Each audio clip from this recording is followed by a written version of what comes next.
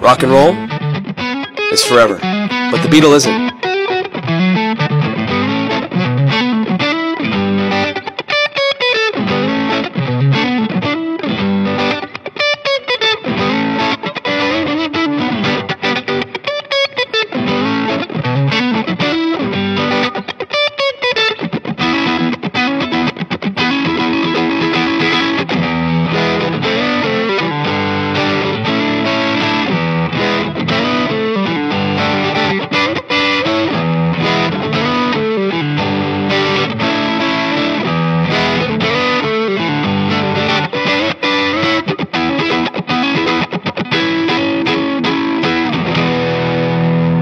Come get yours before it's too late.